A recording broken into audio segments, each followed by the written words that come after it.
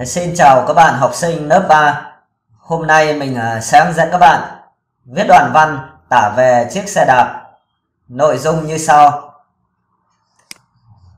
Năm học mới, ông nội đã mua tặng cho em một chiếc xe đạp thể thao.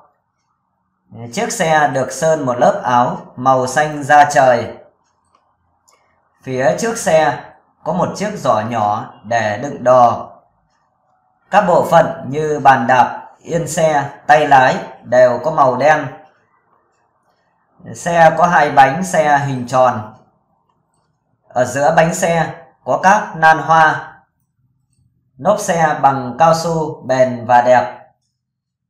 Mỗi lần xe chuyển động, hai bánh xe lăn đều như những vòng quay của cánh quạt. Em rất thích chiếc xe đạp này.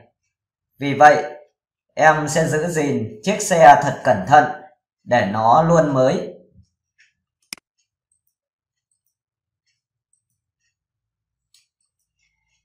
Trên đây mình vừa hướng dẫn các bạn viết đoạn văn tả về chiếc xe đạp. Các bạn cùng đọc và tham khảo những ý hay.